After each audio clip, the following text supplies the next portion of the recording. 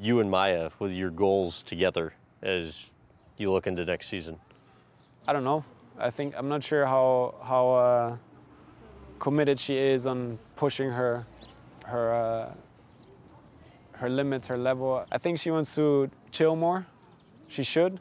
Yeah, she should. Uh, she should enjoy the time that she has now, being healthy. She's proved it all.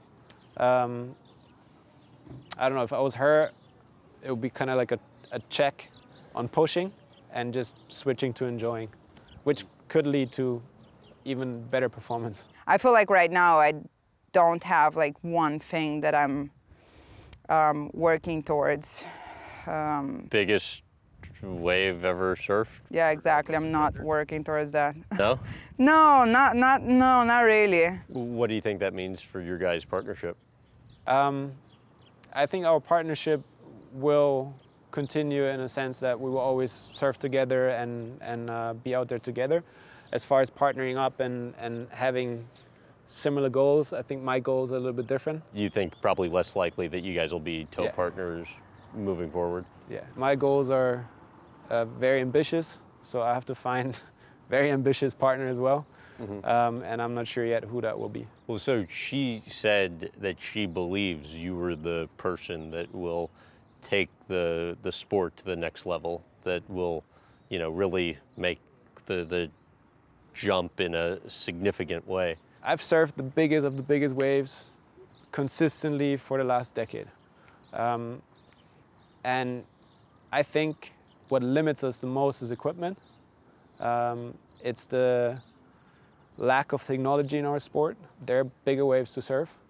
Uh, and I think that's my next chapter is to, to really surf the biggest of the biggest waves. The forecasts that we have are sometimes twice the size of, of, uh, of what we're surfing. Really? I don't know if that translates into waves twice the size, but I'm sure there's waves bigger than, than what we're surfing, much bigger. But so in, in U.S. you know metrics, instead of a 75 foot wave, it could be 100 plus feet. Yeah, and not just surfing it, not just like riding down the wave, but performing on it. That's, I think, the, that's my ambition. I think we have seen waves of that potential here, but we just haven't ridden it yet. I'm not sure if I'm the person to ride it. I'm happy to help Seb ride it.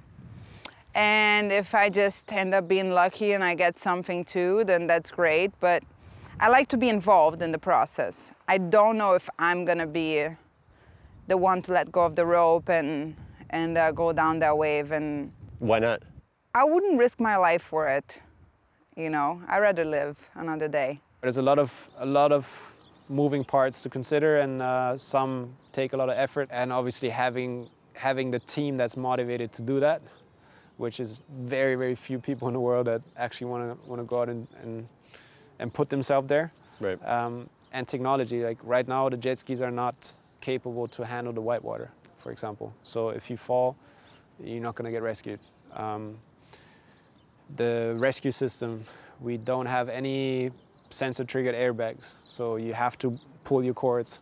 Um, and those vests, yeah, sometimes they stay on, sometimes if there's enough force, they, they could come off. So that's all things that need to be uh, done 100% before.